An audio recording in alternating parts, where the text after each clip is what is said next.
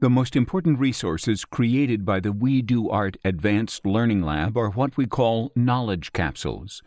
Knowledge capsules are training modules based on PixInsight projects. The basic ones can be downloaded for free from the PixInsight software distribution system. Once the capsule is downloaded, we need to extract the files. And here we have the PixInsight project on which the capsule is based. To open the project, we click on the File menu, then Load Project, and select the project.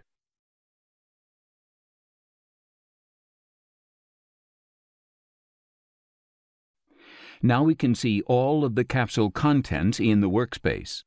Each knowledge capsule contains the image set we're going to work with, a set of process icons, and the capsule documentation, which includes links to external audiovisual resources like video tutorials. To be able to use this documentation, the platform must be updated to at least version 1.8.9 2. As it's not possible to save a project in a way that suits all possible screen resolutions, the first thing we need to do is reorganize the workspace. First, we reorganize the icons by right-clicking on the workspace background and selecting Arrange Icons. Then we move the maximization limit to the left so that all the icon names can fit. And finally, we arrange the image windows. In more complex capsules, the images and icons might be spread across several workspaces, and we'd need to organize the workspaces one by one before we can get started. The aim of Knowledge Capsules is to provide users with an in depth learning experience where understanding the relationship between concepts is just as important as understanding the concepts themselves. Each capsule is a self contained learning unit in other words, users won't have to search for any other resources about the subject matter of each one. Each capsule has a central focus. For example, this one provides a detailed look at dynamic range management, or how to manage the local contrast in objects with a very wide brightness range, where, in order to see the darkest areas, you need to saturate the brightest ones. That's the central focus, and the capsule includes a suggested workflow.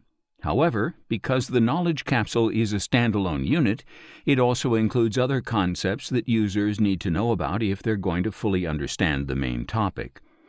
The project, therefore, contains extensive documentation that examines all the necessary concepts. When we open the documentation, First, we see the introduction, which introduces the concept of the dynamic range of an image and the way in which the human eye delinearizes the image light signal. It also looks at white balance and color calibration because understanding these is key to understanding the main workflow. In this capsule, there is also a section that compares the current technique with older techniques and their drawbacks. Clicking on each documentation icon takes us directly to the relevant section of the document, which opens in PixInsight's embedded web browser. If we want to work on the image, we can minimize the browser by clicking here. Once the browser is minimized, we can reopen it by double-clicking on the corresponding icon again.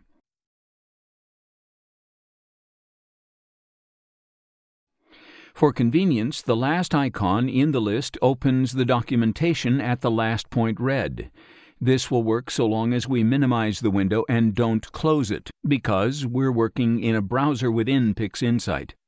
In other words, it's a program within a program. If we close the window, we close the browser itself, and if we click on Continue Reading, it will open the document at the beginning again.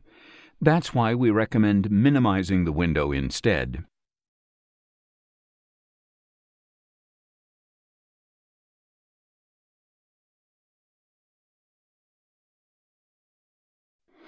One of the most important sections of the capsule documentation is the proposed workflow section, which gives a general overview of the technique. The mind map is also a vital part of the capsule. Here we can see the interconnections between all the concepts included in this learning unit. The mind map is useful because it often shows us connections that we wouldn't have thought of. For example, Here we can see that although the dynamic range management technique is based on broadband images, it shares knowledge bases with the narrowband and Hubble palette technique. Before we can apply either of these techniques, first we need to understand the basic concepts of image linearity, color calibration, and the white reference. As we will see in the relevant capsule, the white reference plays a key role in the narrowband technique. The dynamic range management workflow also has a lot in common with the LRGB technique. All four steps in this workflow are also steps in the LRGB workflow. Knowledge capsules also contain audiovisual content. For convenience, the mind map also shows us which video tutorials on PixInsight's official YouTube channel are relevant to each step. It's not just videos about dynamic range management, but also other video series about related topics. For example, we can see the video on color calibration with SPCC, or the one about using masks in the Introduction to PixInsight series. We can also see the tools used in each step of the workflow. The References section includes links to documentation on each one. The mind map also lists the PixInsight interface features that are relevant to the workflow. There are some interesting links here. For example, we can see that video 4 of the Dynamic Range Management series uses interface features specific to previews, but the features used in this video are described in videos 13 and 15 of the Introduction to PixInsight series. This tells us which videos we should watch to get a good interconnected overview of what we need to know. All of the sections of the mind map can be downloaded separately to make them easier to read. We can also download the complete mind map.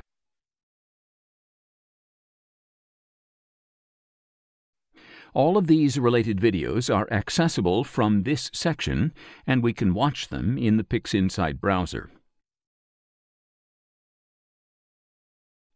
We can also enable theater mode.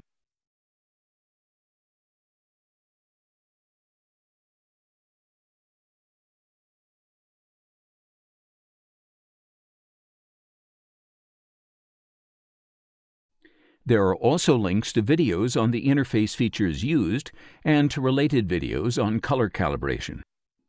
There are links to all of these references throughout the text, too. For example, here's a list of the steps in the workflow, and each step includes links to the necessary references. All of these references are available at the end of the documentation.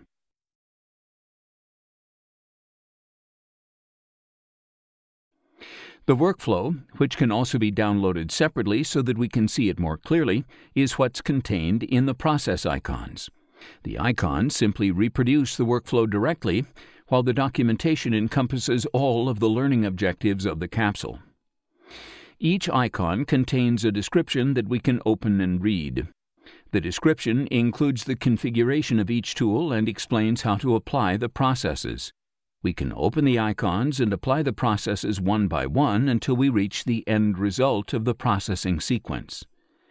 Knowledge capsules offer a systematic learning approach designed to help users create new connections and learn new meanings, two skills that the team at WeDoArt believe are important elements of human intelligence. The aim is to help you grow as an astrophotographer and enjoy creating your artistic creations in PixInsight. Four feet on the stripes in the Alabama highway.